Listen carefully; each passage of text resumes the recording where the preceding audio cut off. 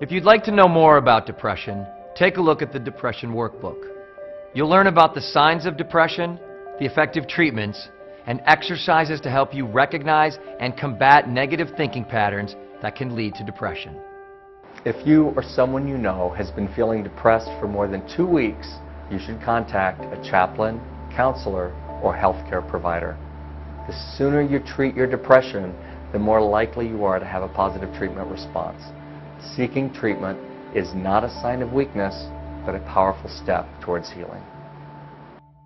If you think you may have depression, make it a point to get face-to-face care.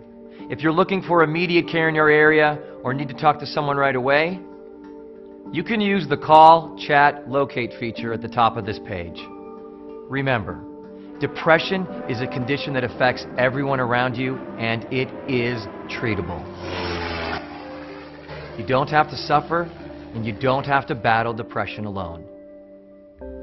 Thank you for viewing this video story about depression and thank you for your service.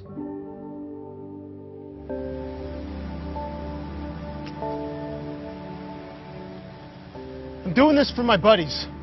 I owe them that much.